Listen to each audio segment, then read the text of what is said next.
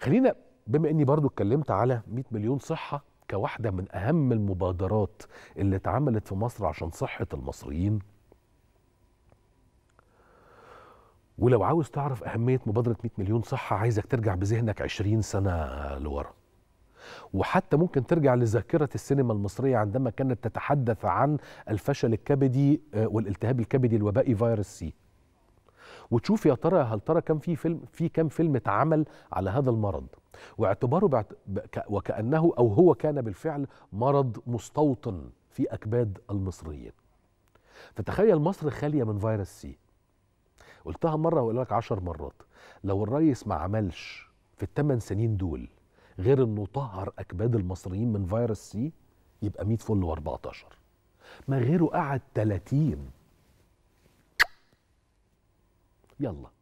في إطار مبادرة كلنا واحد بقى وبالمناسبة علشان حضرتك أنا عارف تسمع كلام من هنا كلام من هناك أحيانا بقصد أحيانا من غير من غير قصد أحيانا يخون البعض التعبير على مسألة الأسعار الأسعار الأسعار. مبادرة كلنا واحد يا فندم من ضمن المبادرات الرئاسية الهامة جدا اللي بتقوم بيها الداخلية عشان استقرار الأسعار. استضافت وزارة الداخلية في إطار المبادرة دي شباب وبراعم بشاير الخير وأسرهم. ليه؟ علشان يقضوا يوم رياضي وترفيهي داخل نادي ضباط الشرطة في اسكندرية. طيب إيه اليوم ده بقى؟ خلونا نسأل زميلنا الأستاذ فتحي سليمان رئيس قسم الحوادث بموقع القاهرة 24 ازيك يا أستاذ. حضرتك عامل إيه؟ كله تمام؟ آه بص بقى يا فتحي الخط عمال يقطع ورايح جاي والنبي يا شيخ لا تقف في حتة فيها شبكة كده وتبقى الشبكة قوية اتشعبط على البرج نفسه يا فتحي. حاضر تمام كده؟ حضر لك الخير يا سيدي. حلو زي الفل. احكي لي بقى اليوم كان عامل إزاي؟ تمام النهارده وزارة الداخلية حضرتك عارف مبادرة كلنا واحد اللي طبعا. عملتها الوزارة آه، تحت رئاسه الرئيس عبد الفتاح السيسي من فترة كبيرة ووصلت في مراحلها أكثر من آه، 18 و20 مرحلة.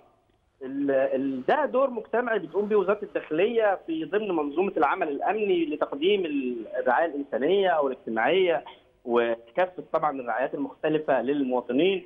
وزارة الداخلية دي مش أول مرة عملت يوم رياضي قبل كده لسكان الأسمرات والنهاردة بشاير الخير في اسكندرية آه، ده يوم بتوجهه وزارة الداخلية الدعوه للمواطنين للبراعم والشباب علشان يقضوا يوم ترفيهي في آه، أندية الشرطة أو في آه، أماكن الشرطة المختلفة الأماكن أيوة. الترفيهية في إطار حرص وزارة الداخلية طبعا على التواصل المجتمعي مع المواطنين والمجتمعات العمرانية الجديدة للتواصل وده بيرسخ الدور الأمني وكمان بيرسخ آه، دور رجال الأمن في الاجتماعي ودورهم ال- الإنساني في المقام الأول. صحيح. اليوم بيكون عبارة عن يوم ترفيهي طبعا يوم لعب مع الأولاد ضابطات وضباط من مديرية أمن الاسكندريه النهارده. بيلعبوا ألعاب مختلفة بيستمتعوا بكافة الألعاب الموجودة في نادي اتحاد الشرطة الرياضي في اسكندرية.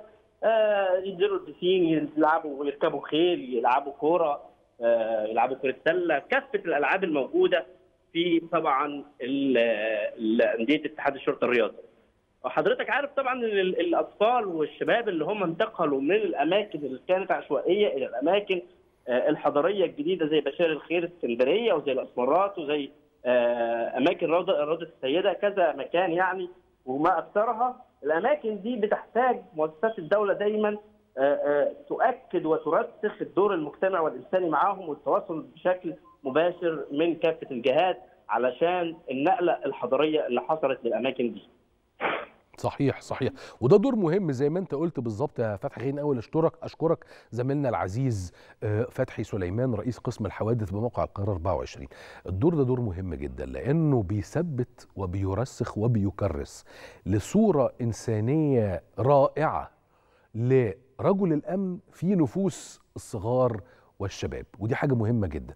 وده اللي بتقوم بيه الداخلية يعني ما هواش مجرد التكريس مثلا بتاع موضوع في كتاب القراءة لأ. صورة حية.